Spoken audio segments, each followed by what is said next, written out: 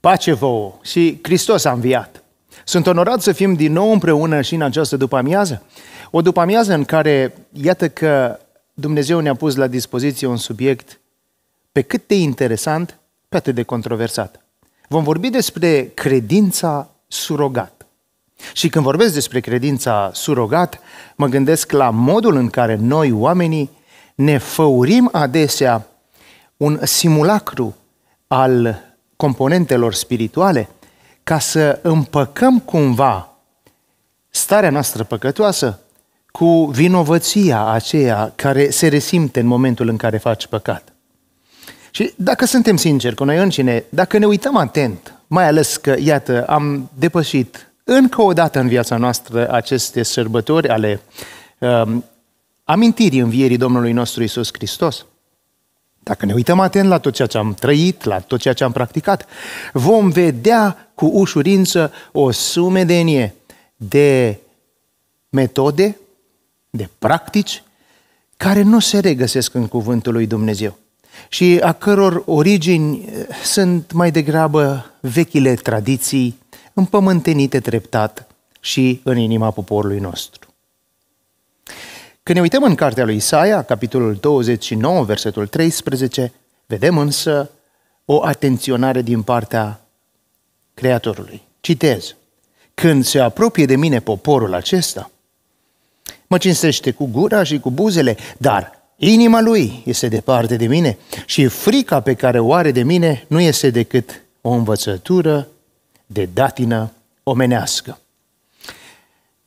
Atunci când Isaia a scris această carte, el se referea la poporul Israel.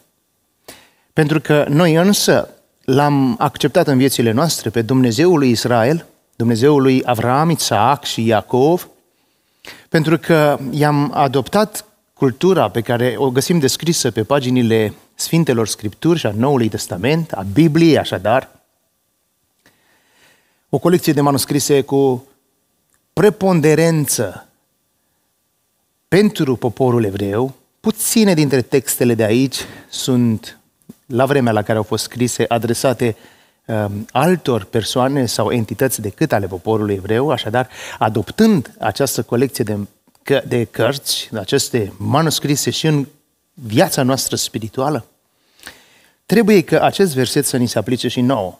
Îl recitesc de data aceasta cu bătaie directă către fiecare dintre noi. Când se apropie de mine poporul acesta, adică noi oamenii, noi credincioșii, mă cinstește cu gura și cu buzele, dar mintea lui, pentru că aici în limba ebraică, leb, lebab, se referă nu la acest biomecanism extraordinar care pompează sângele în organism, parte din aparatul circulator, ci se referă la minte.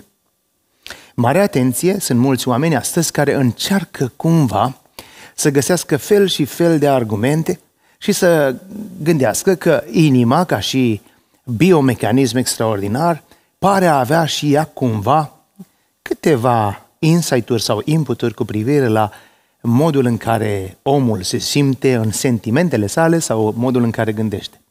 Nu este o direcție bună și, drept dovadă, vedeți că medicina, care a avansat atât de mult, a ajuns să schimbe în inima omului fie valvele inimii, fie să o schimbe cu totul. Sunt astăzi oameni care au în piept inimă obținută de la animalul numit porc.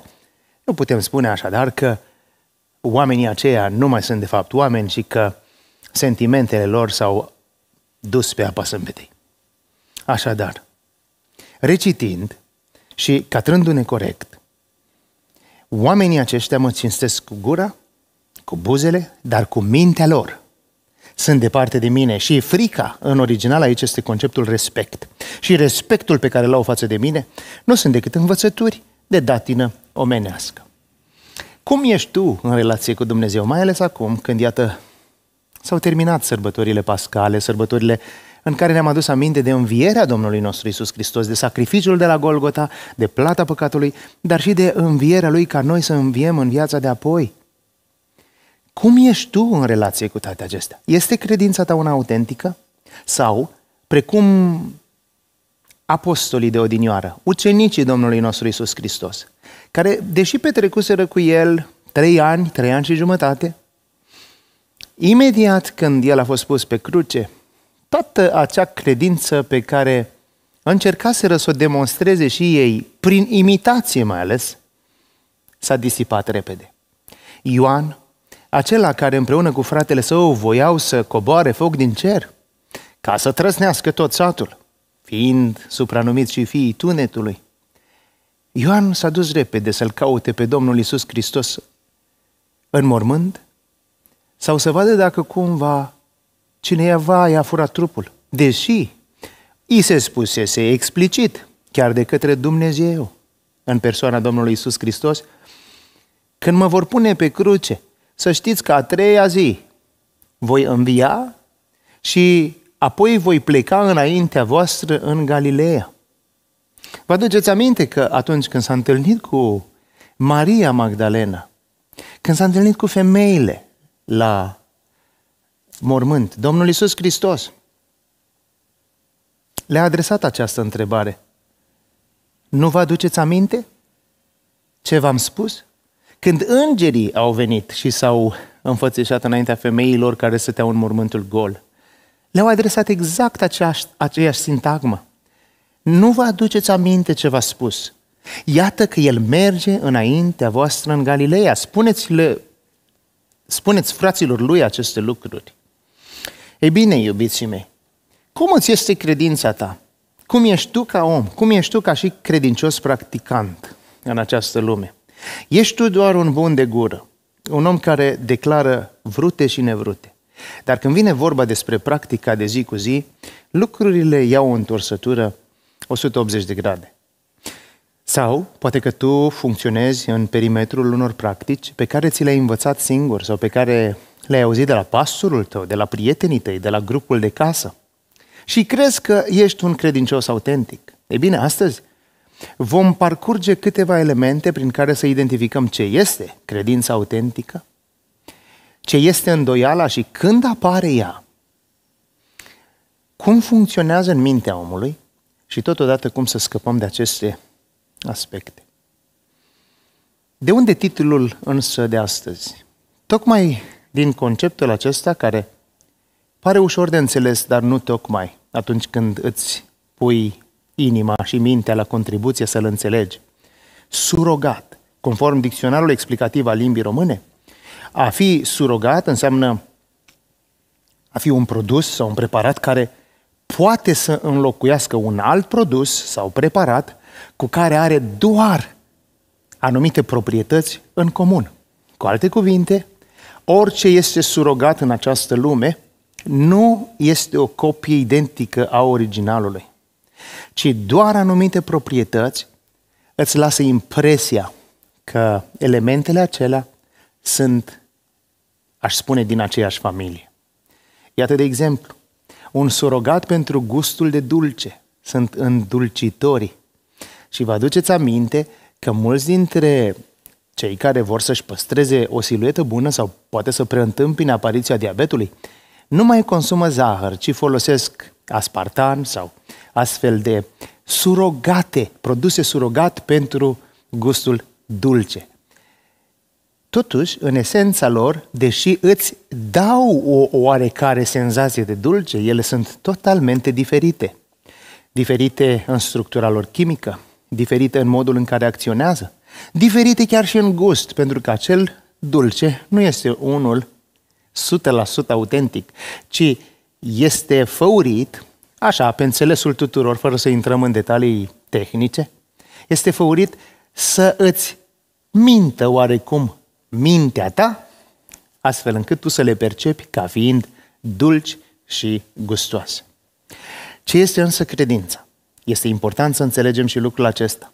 Și care este diferența dintre credință, a crede în cineva și a crede pe cineva? Credința, ne spune tot dicționarul explicativ al limbii române, este faptul de a crede în adevărul unui lucru. Este o convingere, este o siguranță, este o certitudine, este o valoare fundamentală a omului. Credință surogat, vis-a-vis de ceea ce am spus mai devreme, înseamnă a crede nu neapărat în adevărul unui lucru, ci a crede în adevărul pe care tu ți l-ai impus despre un anumit lucru. Cu alte cuvinte, e o diferență între adevărul universal și ceea ce crezi tu cu privire la acest aspect. Iată de exemplu, sunt mulți oameni astăzi, fără să intrăm în, într-o direcție în care să blamăm pe cineva, dar sunt mulți oameni astăzi care consideră că pământul este plat. Deși cuvântul lui Dumnezeu vorbește despre pământ ca fiind un rotocol.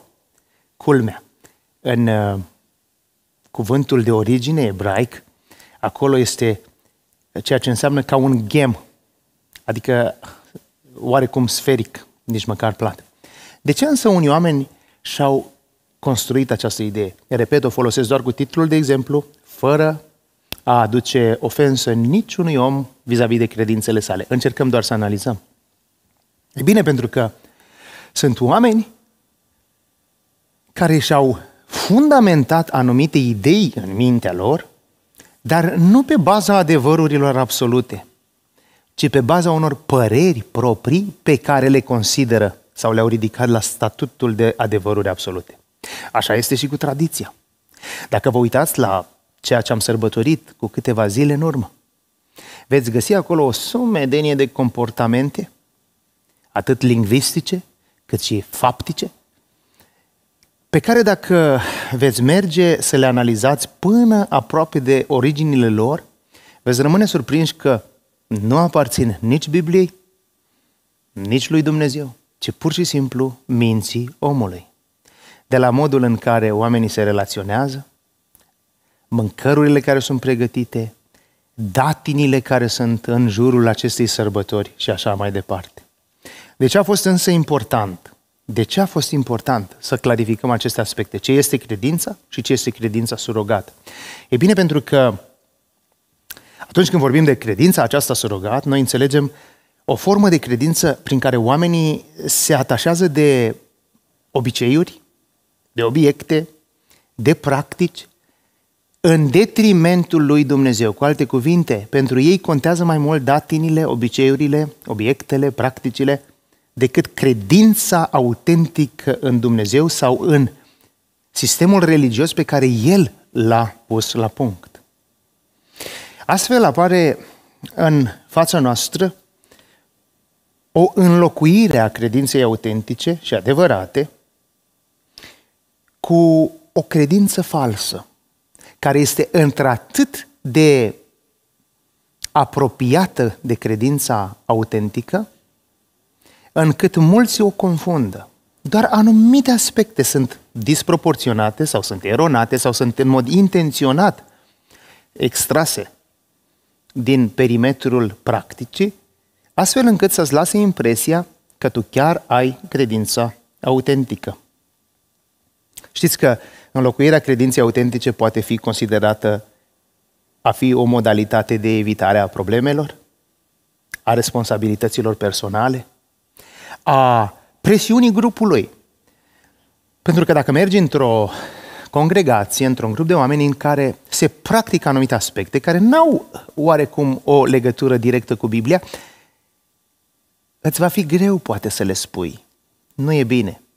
Și te vei regăsi, dacă nu veghezi și dacă nu ești atent, practicând și tu toate aceste elemente. E bine, un exemplu de credință surogat este aceea în care o persoană își bazează credința exclusiv pe ritualuri religioase, pe practici religioase, fără a avea o legătură directă cu Dumnezeu, o relație personală cu Dumnezeu. Ce înseamnă o relație personală? O relație personală este aceea în care cei doi comunică unul cu celălalt. În care tu te relaționezi la Dumnezeu ca și cum îți este persoana ta cea mai dragă în care Dumnezeu nu este doar un nume sau un concept suspendat undeva în neantul acestui univers către care tu te rogi când pleci dimineața de acasă. Când ai o relație cu Dumnezeu, fiecare faptă pe care o faci, o faci din respect pentru El. Fiecare vorbă pe care o spui, o faci gândindu-te că și El este prezent. Și încerci să treci totul prin filtru a ceea ce ar crede El cu privire la tine când spui anumite vorbe sau faci anumite fapte. Sunt însă unii oameni care își bazează credința exclusiv pe ceea ce văd la alții. N-au nicio relație personală cu Domnul Isus. Vă aduceți aminte de ucenicii de altă dată? Vă aduceți aminte de Toma? Pentru că zilele acestea veți auzi foarte des pronunțându-se numele Lui. Ați auzit de Duminica Tomii, de Toma necredinciosul. Iubiții mei, nu vreau să ajungem în ceruri, acolo unde îl vom întâlni pe Toma, și să ne privească trist pentru că l-am blamat în fiecare an pentru necredința lui. Necredincioși au fost toți ucenicii, toți au fugit.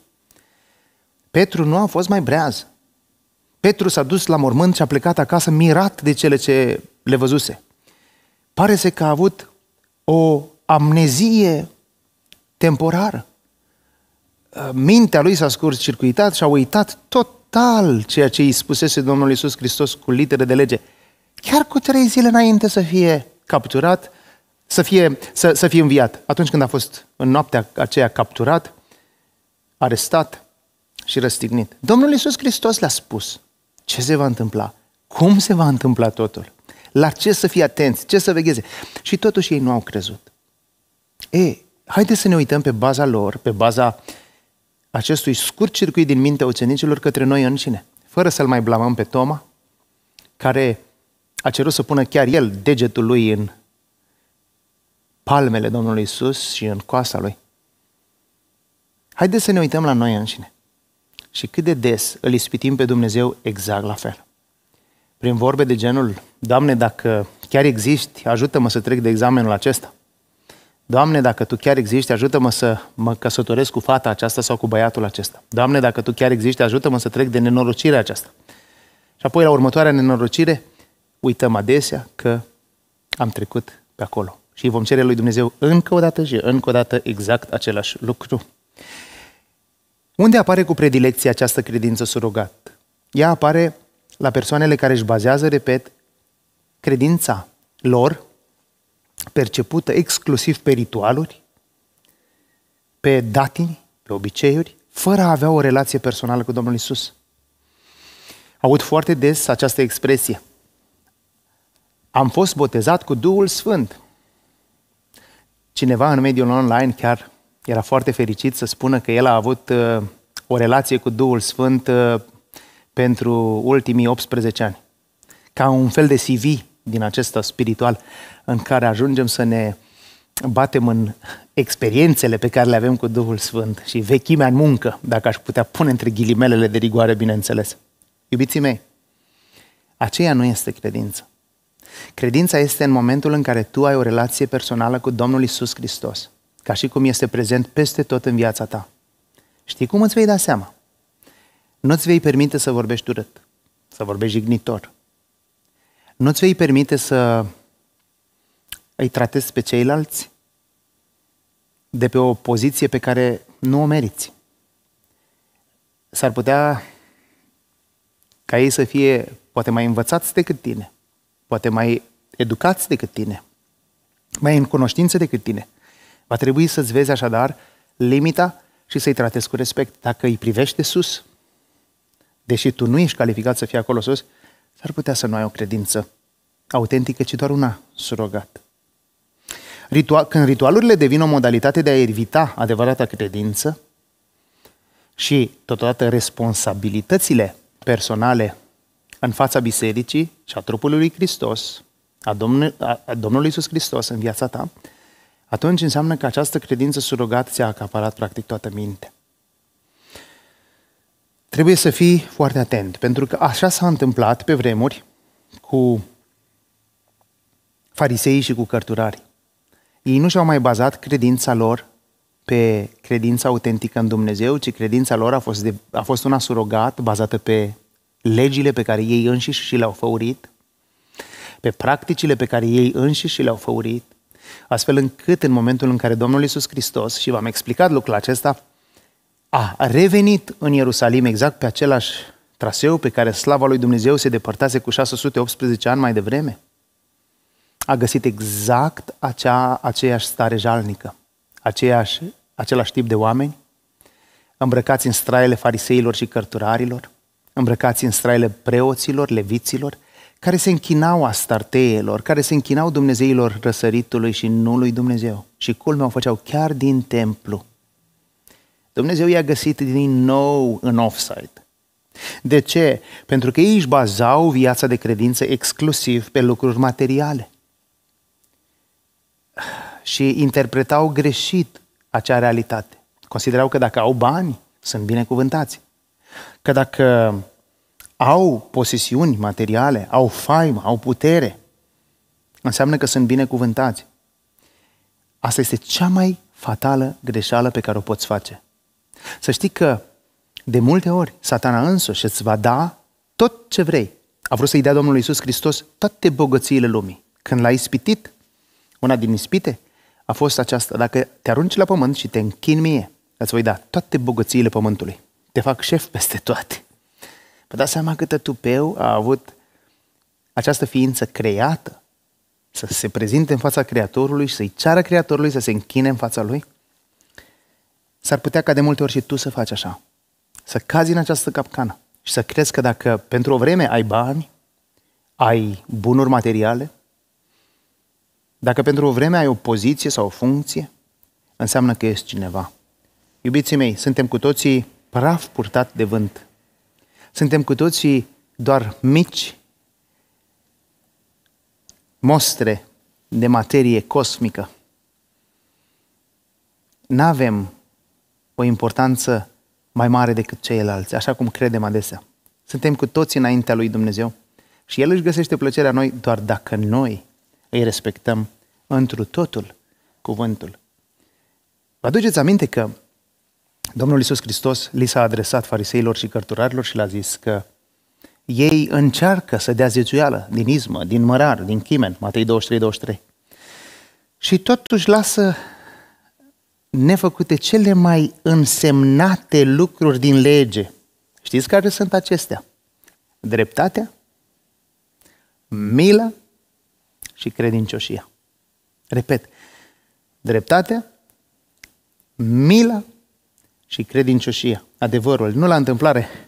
Apostolul Pavel ne-a spus că roada luminii stă în orice bunătate, extensia milei sau rădăcină pentru milă, în dreptate, și avem aici dreptate, și adevăr, sursa pentru credincioșie. E, vedeți voi, revenim la întrebarea pe care v-am adresat-o. Tu cum ești? Ești la fel ca și Toma, care cauți mereu răspunsuri? Care îl ispitești mereu pe Dumnezeu ca să-ți demonstreze cât este de bun? Care îl pui la încercare? De parcă nu ți-a mai răspuns la aceeași întrebare de mii și mii de ori în viața ta. Pentru ce am ajuns aici? Știți de ce? Revin la Isaia 29 cu 13. Pentru că noi ne apropiem de Dumnezeu și îl cinstim doar cu gura și cu buzele. Spunem lucruri pe care nu le înțelegem. Declarăm aspecte pe care nu le pricepem. Adesea remarc în biserică, în special în zona tinerilor, interpreți de muzică, care traduc oarecum melodiile pe care le primesc și cântecele pe care le primesc dinspre vestul Europei. Și folosesc abuziv un cuvânt numit a proclama. Acest concept, a proclama, este folosit necorespunzător. Proclamațiile se dau doar într-un cadru specific. A proclama nu poate să o facă oricine. Îndeosebi, în cadrul constituțional al statelor, veți vedea că aceasta este de datoria fie a președintelui, fie a Parlamentului. Nu a ta și nu a mea. De ce însă folosim aceste lucruri, aceste cuvinte, într-un mod atât de greșit? Nu pentru că nu știm carte, ci pentru că vrem să punem cuvinte pompoase la dispoziția lui Dumnezeu. Nu este impresionat de ele. Vă spun, nu este impresionat de ele. El vrea să vadă ce faci tu în viața ta, nu ce declar cu gura. Pentru că dacă nu se potrivește ceea ce ai declarat cu gura în viața ta, poți să faci tu false proclamații 10 pe minut. Nu valorează niciunde, nu valorează ele nici în lume, pentru că tu n-ai dreptul să proclami. N-ai dreptul să decretezi. Tu ai un drept, așa cum am și eu, să practicăm viața de credință.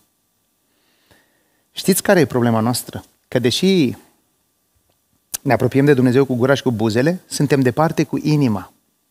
Ce înseamnă lucrul acesta? Cuvântul leb de aici, din original, înseamnă minte. Înseamnă că noi nu mai înțelegem, nu mai înțelegem adevărata calea lui Dumnezeu. Spunem lucruri pe care nu le pricepem, repet. Și nu mai avem așadar frică de Dumnezeu. Frica aceasta, conceptul de aici, în ebraică, nu este frică, așa cum se traduce în românește. Pentru că în poporul român, când spui cuvântul frică, tu adesea vorbești despre reacția vis-a-vis de coerciție, de pedeapsă, de a ți se întâmpla ceva rău. Aici este cuvântul respect în original. Respectul pe care îl au față de mine nu este decât o învățătură de dat în omenească. Cu alte cuvinte, oamenii se relaționează la Dumnezeu doar pentru că au fost învățați așa. L-au pictat undeva pe pereți și au senzația că acolo e Dumnezeu. Deși în lege este scris să nu faci clip, chip cioplit, să nu faci chip pictat, nici, nici pe lemn, nici pe piatră. Știți că acolo este un verset în care ne se spune de ce Dumnezeu nu a vrut să-i se vadă niciodată fața. Tocmai pentru ca omul să nu-i facă o copie a chipului său și să se închine copiei și nu lui Dumnezeu. Dar omul este om și mintea lui este pervertită de păcat. Și adesea cade în această, în această patimă urâtă. Credința așadar s-a transformat într-o credință surogat. Interesant este acum să înțelegeți de ce. Ați auzit de îndoială? Ei bine, conform dicționarului explicativ al limbii române, îndoiala înseamnă neîncredere, ezitare, șovăială sau îndoire, când te îndoiești de cineva sau de ceva. Mulți oameni consideră că antonimul credinței este îndoiala. Iubiții mei, diametral opus sau la polul opus de credință se află necredință. Necredință nu-i tot una cu îndoială. Îndoiala este un mecanism prin care tu îți comuți credința. Haideți să vă spun un lucru care probabil are să aducă șoc sau o undă de șoc peste mulți dintre voi. Nu există oameni pe acest pământ necredincioși. Toți oamenii sunt credincioși. Diferența dintre ei este în cine se încred și pe cine cred. Nu există oameni totalmente atei, care nu cred în Dumnezeu. Nu cred în Dumnezeul nostru și noi îi considerăm a fi atei. Dar și ei au un Dumnezeu al lor. Poate banul, funcția, înțelegeți voi? Celui care, căruia își dedică viața, acela este Dumnezeul lor, chiar dacă nu o declară în mod direct. Așadar, vă rog să înțelegeți ce vă spun. Toți oamenii au credință. Depinde însă în cine. Interesant este că atunci când intervine îndoiala, ceea ce faci tu și ceea ce fac eu este să comutăm centrul de greutate de la credința în cineva către credința în altcineva. Când Adam și Eva s-au îndoit, când Toma s-a îndoit, când Petru și Ioan s-au îndoit, și exemplele pot să fie multe, nu înseamnă că dintr-o dată credința lor a pălit. Ei au avut credință, dar credința au comutat-o de la Dumnezeu către cei care le-au spus vrute și nevrute, tradițiile, normele, au ales să creadă mai mult în aceștia decât în Dumnezeu. Când Adam a căzut, el nu l-a mai crezut pe Dumnezeu pe cuvânt, ci l-a crezut pe satana pe cuvânt. Când Petru și cu Ioan au fugit la o mormânt, Ei nu au mai crezut în vorbele Domnului Isus Hristos, ci au crezut în vorbele tradițiilor și obiceiurilor. Și cum tradiția îți spune clar că un om care a murit e mort, le-a venit greu să creadă în Domnul Isus Hristos. Cu alte cuvinte, nu și-au pierdut credința, ci și-au pierdut credința în Hristos și au dat-o filozofiilor păgâne, ar fi o expresie mai clară. Vedeți, aici este greșeala noastră. Noi avem senzația că ceea ce noi numim credință scade. Nu scade niciodată. Este comutată doar. Practic, focalizarea nu mai e pe Dumnezeu, ci este pe cel rău sau pe propria viață sau pe uh, bani sau pe uh, starea de binefacere. Sper că înțelegeți acest paradox. Nu e ușor de înțeles, dar îmi dau silința să vă explic pe cât de simplu uh, posibil, pe atât de, uh, hai să spunem, pueril uh, în viziunea multora dintre voi, dar este nevoie să înțelegeți pentru că așa ceva fie nu se vrea a fi explicat, fie alții nu-l pricep. Au senzația că noi suntem ca un rezervor din care credința fuge pur și simplu. Nu este adevărat. Depinde către cine o orientezi. Iată de exemplu. Noi avem la aviație un rezervor foarte mare în burta avionului, să spunem, și apoi două rezervoare, în fiecare aripă există câte un rezervor foarte mare. Adesea noi trimitem combustibilul dintr-un, dintr-o aripă în cealaltă ca să creăm balansarea perfectă a avionului. Când tu comuți așadar ca acel, acel mecanism astfel încât credința ta să se comute de la Domnul Isus Hristos către ceilalți, înseamnă că a apărut îndoiala. Îndoiala este mecanismul prin care tu ai comutat. Pentru că nu poți să comuți de la Domnul Isus către lume dacă nu începi să te îndoiești față de Domnul Isus Hristos. Mă înțelegeți voi ce vă spun? Asta s-a întâmplat și cu Petru. Asta s-a întâmplat și cu Ioan, și cu Toma, și cu ceilalți. Vă aduceți aminte de Petru, de exemplu, când mergea pe acea mare învolburată? Îi ceruse Domnului Isus Hristos. L-a ispitit, de fapt. Și a spus, Doamne, dacă ești Tu, poruncește să vin la Tine. Păi, el ar fi trebuit să aibă credință, să creadă că este Domnul Isus. Și atunci, totul ar fi fost ca atare. Când s-a îndoit Petru? Când a început să se scufunde? Sau când i-a zis, Doamne, dacă ești Tu? Ne vedeți voi. Adesea noi picăm în exact aceeași capcană. Îndoiala este o stare mentală în care mintea rămâne suspendată între două sau mai multe premise contradictorii, incapabilă să fie sigură de oricare dintre ele. Îndoiala la nivel emoțional este indecisia dintre credință și necredință. Poate implica incertitudinea sau neîncrederea, lipsa convingerii cu privire la anumite fapte, acțiuni, motive sau decizii.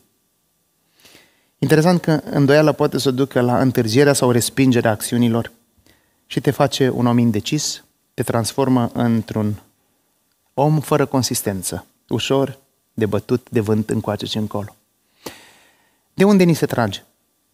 Nu din slaba noastră capacitate mentală, nu datorită faptului că suntem ființe mult prea fragile, în fond am fost creați după chipul și asemănarea lui Dumnezeu, ci pentru că societatea în care suntem își imprimă mentalitatea sa păcătoasă pe cât de puternic și feroce, pe atât de insistent. René Descartes a spus la un moment dat, și aceasta este practic o oglindă a societății contemporane, citez, dacă cauți adevărul absolut, este obligatoriu ca cel puțin o dată în viață să te îndoiești. Dacă este posibil, ar trebui să te îndoiești de toate lucrurile. Am încheiat citatul. Vedeți așadar, unul dintre filozofii care au stat la baza celor mai multe dintre, aș spune, pârghiile pe care le folosește societatea curentă, v-a arătat esența sau parte din esența ei. Și anume să te îndoiești. Și îți va pune în minte și îți va pune în viață această meteahnă. Îndoiește-te. Fiți atenți! fondatorul budismului, Buddha, a zis, citez, îndoiește-te întotdeauna și caută-ți propria ta lumină. Repet, îndoiește-te întotdeauna și de toate lucrurile. Caută propria-ți lumină. Am încheiat citatul. E, vedeți voi de ce societatea de astăzi a ajuns unde a ajuns? Și rădăcinile sale au intrat până în biserica lui Dumnezeu, că vreți să acceptați sau nu. Nu suntem noi oare oameni care merg exact pe aceeași filozofie astăzi? Am ajuns să ne îndoim de toate și de toți? Aici ar trebui să avem mintea ageră. De ce? Pentru că, fără să stăpânim îndoiala, ușor vom comuta butonul și vom de- decentraliza atenția de la Hristos către lume. Așa de fină este această diferență. Au făcut-o ucenicii, cu certitudine o, face, o vei face și tu și eu. Mai ales că noi nu l-am văzut fizic pe Hristos. Dacă îți iei privirea de la El, repede vor veni șoapte care îți vor spune, merge așa, așa. Nu te stresa. E ok. Ați văzut în ultimul timp manifestările din credință? Credința autentică, așa cum ne place nouă să zicem. Nu vă mai trebuie cercetări uh, de specialitate, pentru că toți puteți să schimbați canalul YouTube și vă puteți uita și la Biserica X, și la Biserica Y, și la Biserica Z. Ați remarcat faptul că se pare că nu mai avem nimic în comun? Ați remarcat că, deși toți pronunțăm numele Domnului Isus, fiecare prezintă un alt tip de Isus Hristos? Analizați atent, pentru că nu poți crede în Domnul Isus Hristos care îți spune să te arunci pe burtă și același Domnul Isus Hristos să-ți spună nu, de fapt aruncă-te pe spate. Nu poți spune că tu l-ai cunoscut pe Domnul Isus Hristos care îți permite să faci asta și alții vin și spun că l-au cunoscut pe Domnul Isus Hristos care de fapt le-a interzis asta și le-a spus să facă altceva. Ori unii, ori ceilalți se înșală. Nu poți așadar să crezi în același Dumnezeu când credințele noastre declarative sunt diametral opuse. Ori unii, ori alții greșesc. Și ar trebui să identificăm cine sunt acești oameni. De ce este bine să te păzești de îndoială? Pentru că îndoiala îți va aduce în viață confuzie și îți va anula claritatea de a vedea ținta, obiectivul și scopul tău de creștin în această lume. Vedeți voi, când Domnul Iisus a călătorit cu ucenicii lui și trecea dintr-o parte în cealaltă a lacului Chineret sau Genezaret sau Marea Galilei, când s-a stârnit acea furtună extraordinară, lor le-a dispărut din minte dintr-o dată perspectiva. Pentru că n-au avut o credință fundamentată pe o relație personală cu Dumnezeu, ci pur și simplu imitau și ei ce vedeau la unii și la alții. Au intrat în panică. Îl aveau pe Creator la cârmă. Îl aveau pe Dumnezeu la cârmă. Îl văzuseră făcând minuni. Și totuși, dintr-o dată au intrat într-o așa stare de panică, încât l-au jignit pe Dumnezeu. Învățătorule, ție nu-ți pasă de noi că pierim. Un credincios autentic în credința lui n-ar fi spus niciodată așa ceva pentru că a fost o ofensă adusă lui Dumnezeu. Nu la întâmplare Zaharia ne spune când îl va întreba cineva de unde sunt aceste răni pe care le ai la mâini? Pe palbele tale. El va spune în casa celor ce mă iubeau le-am primit pentru că nu m-au crezut. Au ales să-i creadă pe ceilalți. Așadar, păzește-te de îndoială pentru că îți va aduce în viață confuzie și îți va anula claritatea de a-L vedea pe Domnul Isus sau a vedea ținta. Este scris, cine se îndoiește, seamănă cu valul mării tulburat și împins de vânt încoace și încolo. Tulburat și indecis. Tulburat și indecis. Nu la întâmplare, Apostolul Pavel spune, eu privesc la țintă, mă arunc înainte și merg către țintă. Nu mă interesează stânga, nu mă interesează dreapta, mă arunc înainte și merg la țintă. Tocmai ca să nu pierd din vedere aceste aspecte. Efesem 4 cu 13. Noi vrem cu toții să ajungem la starea de o mare, la înălțimea staturii plinătății în Hristos, ca să nu mai fim copii, plutind încoace și încolo, purtați de vânt, purtați de orice fel de vânt de învățătură, prin viclenia oamenilor și prin șiretenia lor în mijloace de amăgire. Aici aveți răspunsul, pentru care cel mai probabil mulți îl căutați. De ce se întâmplă toate acestea? De ce ajungem în starea de confuzie? De ce ne îndoim? Pentru că îi credem pe oameni și viclenia lor. Viclenia lor. Iubiții mei, uitați-vă la voi înșivă și măsurați-vă dacă nu cumva ați ajuns la statutul de autosuficiență în care Dumnezeu mai este doar o opțiune de sâmbătă și de duminică. Uitați-vă și cântăriți-vă atent ce vă motivează, cât de mare vă este sinceritatea. Știți unde o veți vedea? O veți vedea în comportamentele mici, în reperele neînsemnate ale vieții. Dacă atunci când ești singur îți vine să dai răului, să blestemi, să jignești, cu certitudine, nu mai ești în relație directă cu Hristos. Tu te-ai îndoit de mult vis-a-vis de El. Poate că îți place să critici. Haideți să pun la dispoziția voastră un scenariu. Ce credeți că este mai bine? Atunci când poate stai într-o congregație sau în fața televizorului și auzi o predică și nu îți place deloc ce ai auzit acolo. Cumva contravine bunelor, bunelor tale moravuri și a înțelegerilor tale tradiționale.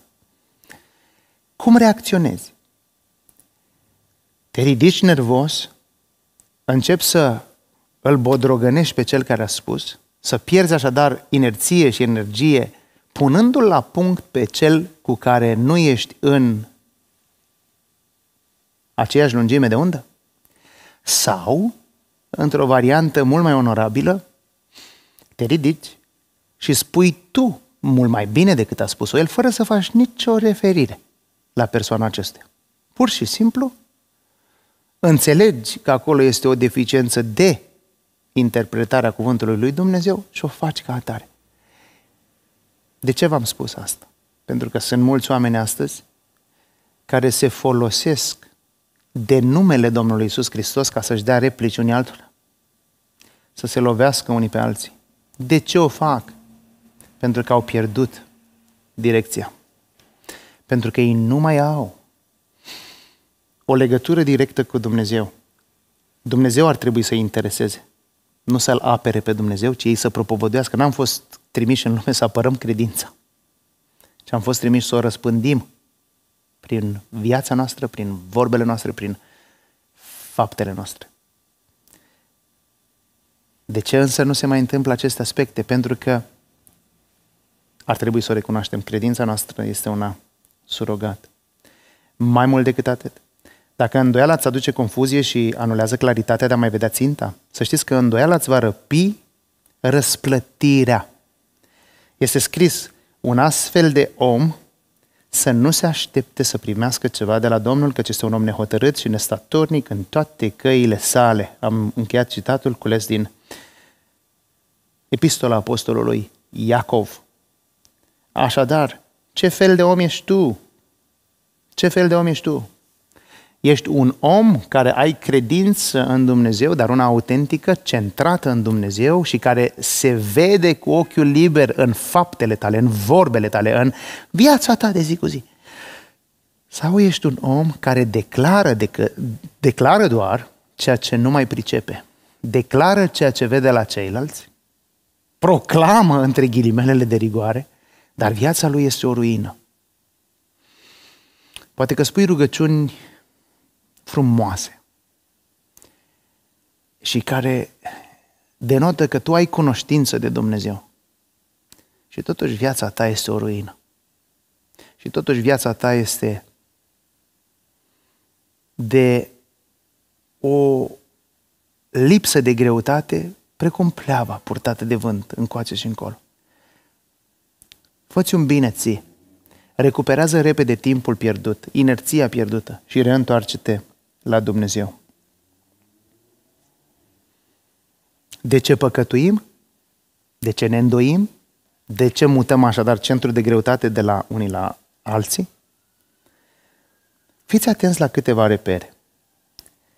Primul lucru este lipsa de cunoștință.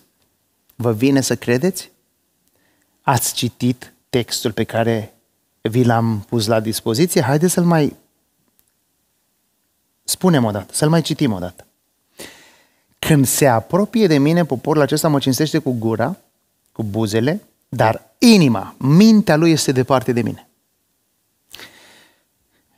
Adesea ați auzit în România peste tot, Hristos a înviat și alții spuneau tare, adevărat a înviat. Așa de frumoasă este această uh, combinație de sintagme. Ce frumos! Hristos a înviat, adevărat a înviat. Problema e că totul a venit mecanic, telegrafic, ca într-un soi de imitație ieftină. Și după ce ai zis, ți-ai văzut de ale tale. Poporul acesta mă cinstește cu buzele, cu gura, dar inima lui e departe mine.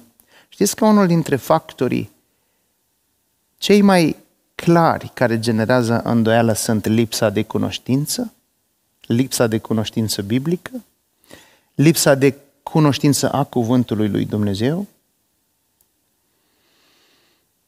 De ce spun asta?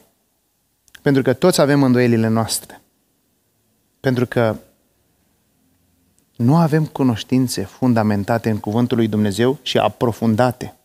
Tocmai pentru că suntem incompleți și imperfecți în cunoștința de Biblie. Tocmai de aceea ar trebui să fim circumspecți, vigilenți și să veghem. Pentru că ne putem pierde credința în Dumnezeu și să iodăm celui rău foarte, foarte ușor. Apoi, celălalt aspect este păcatul din viața noastră. Păcatul din viața noastră care pur și simplu nu ne mai dă voie să ne relaționăm la Dumnezeu. Fie pentru că El, că ne place, că nu ne place, este în poziția de judecător. Fie că știm că ne va pedepsi pentru păcatele noastre. Fie pentru că știm că nu tolerează mofturile noastre.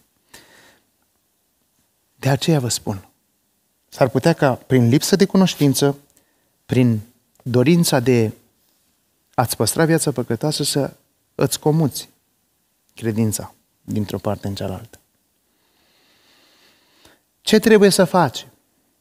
E bine, nu pretinde niciodată că ești un om care nu se îndoiește. Pentru că fiecare credincios, și eu și tu, la un moment dat ne-am îndoit. Unii poate credeți că este un semn de slăbiciune sau că avem o credință superficială. Dacă recunoaștem că suntem oameni greșiți. Nu este chiar așa. Recunoaște că ești vulnerabil, că ești vulnerabilă și atunci vei ști unde să lucrezi. Pretinzând că ești un om extrem de bine fortificat în deale credinței, s-ar putea să-ți întinzi o capcană singur. Singur. Nu te izola de ceilalți. Pentru că Biblia ne spune în Iuda, versetul 22, Iuda are doar un singur capitol, să aveți milă, să aveți compasiune de aceia care se îndoiesc. Interesant că în traducerea Cornilescu are un sens într-atât de eronat. Nu știu cum de s-a strecurat această eroare de traducere. În românește spune să-i certați pe cei ce se despar de voi.